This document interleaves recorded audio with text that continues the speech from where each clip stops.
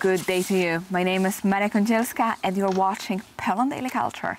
And today we still continue our discussions about Russian mentality and the ongoing war in Ukraine.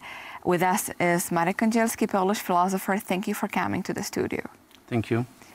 And we, in the previous episode, we talked a lot about Stanisław Cat-Mackiewicz, who was a Polish writer and also a diplomat, but uh, a person who very deeply understood Russia.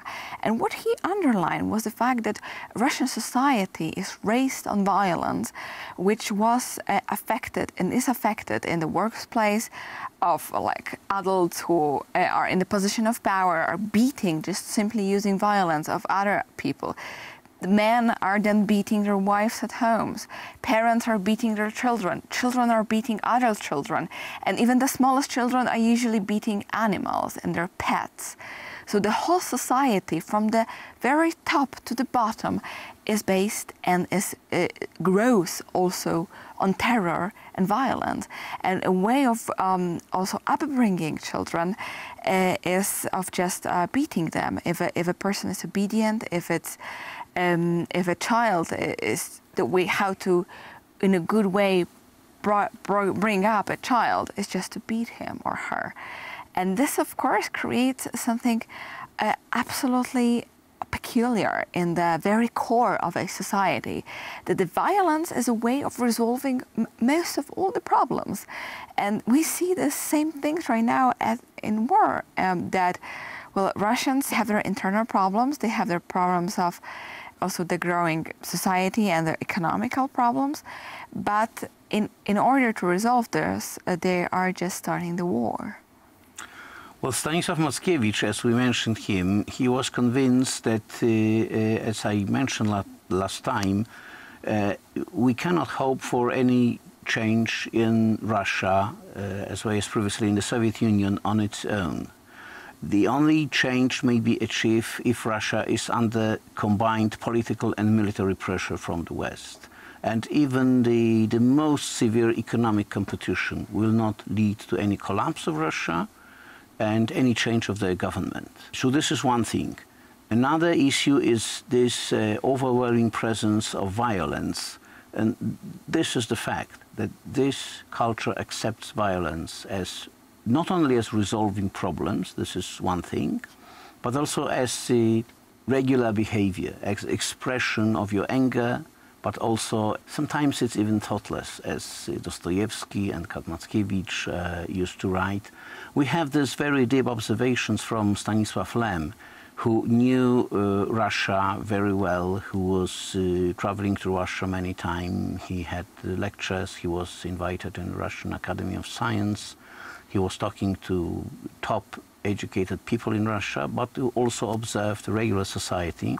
And he was also, during World War II, living in uh, Lvov, uh, the city that passed from hands to hands from Poland to Germany and then from Germany to Soviet Union.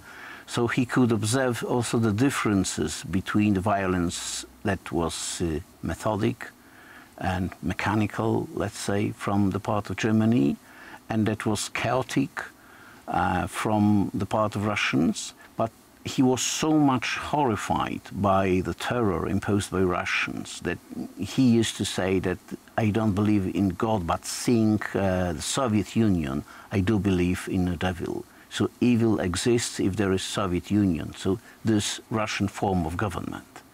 This is very strongly said, and well, the manifestation of devil in Russia, but looking at the way how soldiers are behaving and how they were behaving during the World War II, and even now, right now, how they are behaving towards our uh, Ukrainian citizens. So, um, murdering, cutting people openly, uh, raping, raping even uh, women uh, just after birth or even in pregnancy, and old people, and um, leaving them just to die in, for example, old people in uh, in the uh, caring houses. So doing doing things which are unthinkable to us in the West, and they are doing them right now in 2022 in front of our eyes. Yes, this is extermination that is happening, and this is one of the objectives of Russian policy to destroy the state of Ukraine in the form it has now, meaning in the Western form of the organization of the society.